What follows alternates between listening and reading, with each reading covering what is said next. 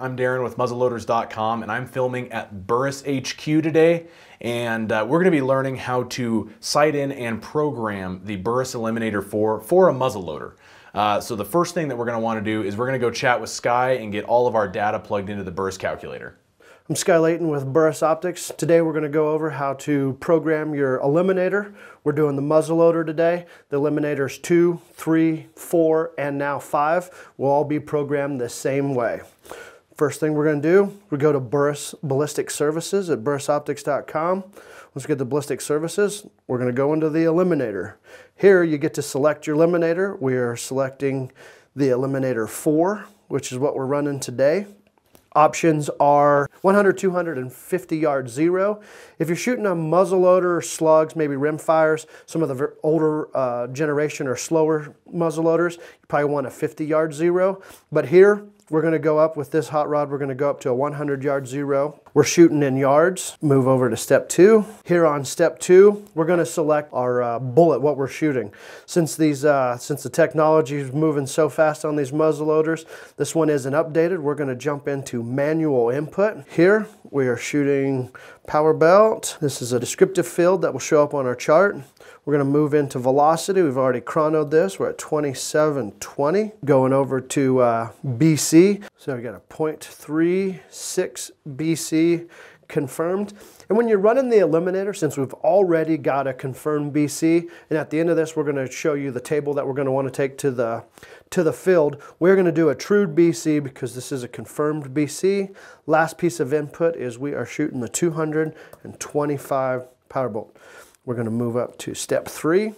Step three, we have two options. If you're more advanced, you have a Kestrel um, or one of the uh, density altitude measuring devices. Density altitude is always going to be more accurate, but for this process, also uh, um, entering your conditions manually will be fine. We do know that we are we are at 5,000 feet for our range here in Greeley, Colorado.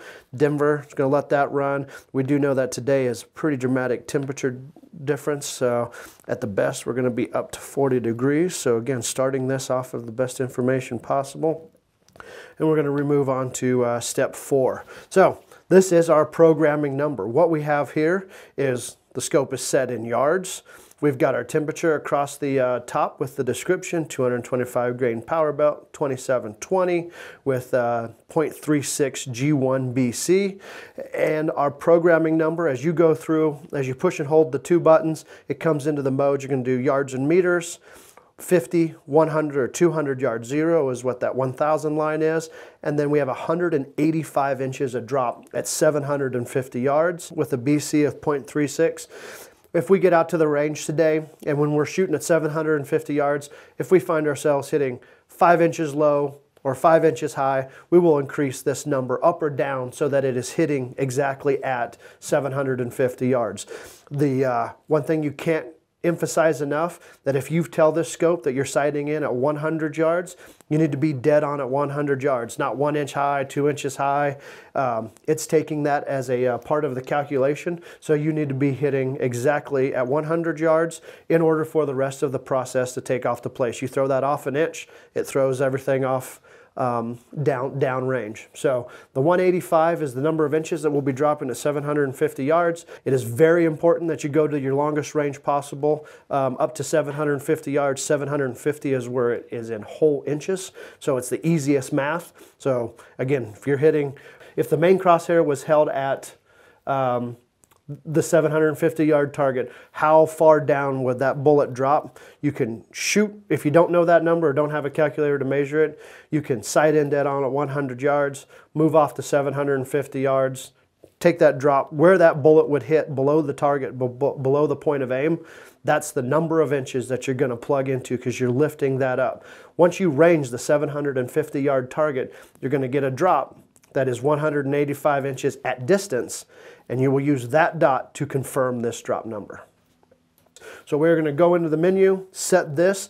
That will program the eliminator to what to the information that we just put in. We've got this generate table option. It's definitely a nice piece to take home. We are shooting today at 5,000 feet. So you see our drop is 185 inches with a BC of 0.36. if we were to make a very large change in elevation, it actually does start to affect the uh, bullet drop and the BC. So if we're going to be hunting, if we're going to end up hunting our elk at 8,000 feet, we'd want to go in here and change the change it to a drop number of 171 and a 0.46. Again, we've got the true data on this one, so we know that this one is the one we're going to take to the field. The zero at 100 yards won't change. The mechanical zero will stay the same. But to come in here for the programming, as your as the uh, air gets lighter and cooler, the bullet's going to fly flatter and faster for longer. So the BC goes up, the drop goes down, and uh, this will uh, take you wherever you go around the world by, uh, by using this chart. You can accommodate any of the shooting situations you may encounter.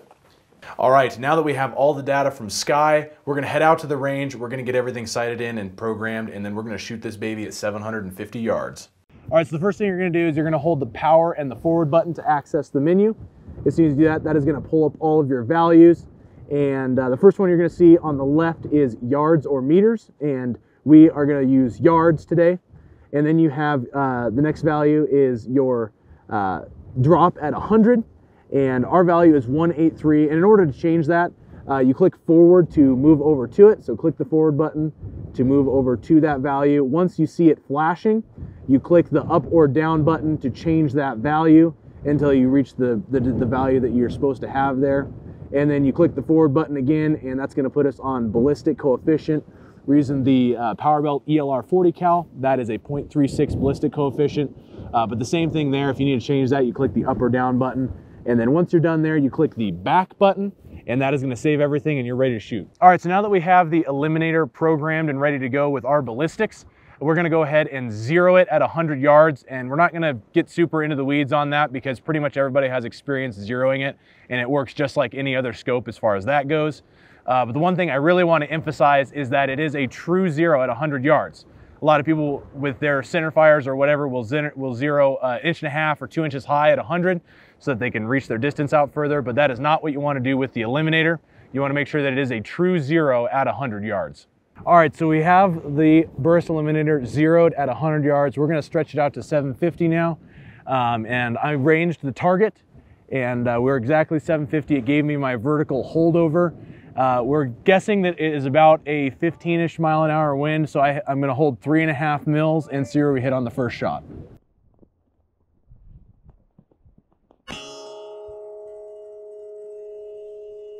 All right, so we just got an impact at 750 yards in a 20 mile an hour crosswind with the muzzleloader using the Burris Eliminator 4.